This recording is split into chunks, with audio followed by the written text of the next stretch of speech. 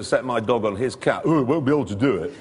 What, your, your gay dog comes around to see my cat? Get his bloody head kicked in. Jeremy visits a hospital and a nurse's top falls off. in Jeremy's mind.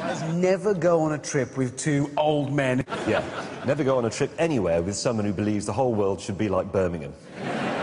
Maybe, actually, it suddenly dawned upon me that he isn't very bright. I think he could be a massive idiot. It's partly because my face isn't as flabby as yours. Not like very much, it's just a little piece of perspex, but that is enough to stop people ending up looking like you. What is Helsinki syndrome then? Is it? I think it's when you're a bit of an idiot and you get your syndromes mixed up. Yeah, I've got it. Anyway, look, putting aside Jeremy's ideas of pimp my stovepipe hat, um, of a new ignition coil for your Mercedes. Twelve and Twelve hundred Thank you. I keep my hair. The United States of America, land of the free. There's a big fence. The other side of it, everybody hates you. What a numpty. To make the tune go backwards, you can still drive the car forwards. Yeah. It's funny, I was driving down the A40 just after you the other day, and the headline was quite brief. It said, Clarkson has massive accident. but Hammond, I was once in a pub, and a man came up to me and he said, do you want a smack in the mouth? And I said, no, because you can't say no. He looks like an idiot. well, he is an idiot.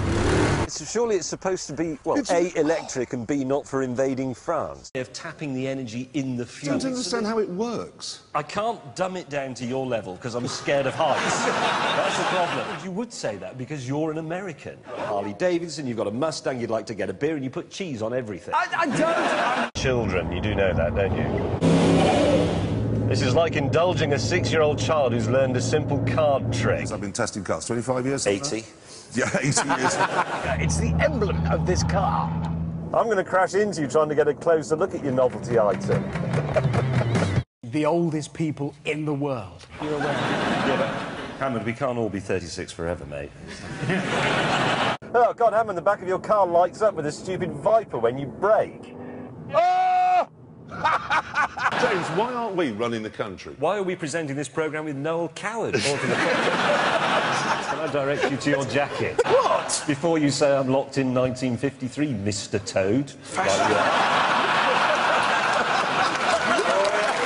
What's wrong with that? no, but that's the model name.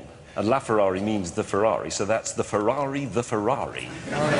G Mercs are brilliant. Yes, there are a couple of massive problems with this. Well, firstly, it reminds me of you. What's new about that? Not a lot, really, apart from the price. It's now 2.3 million pounds. What? Who put what for a second-hand car? yeah, well, it is. Cyclists, give them an inch because they've given you a mile. An inch?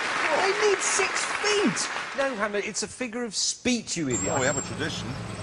Oh no, how am I going to do it without them?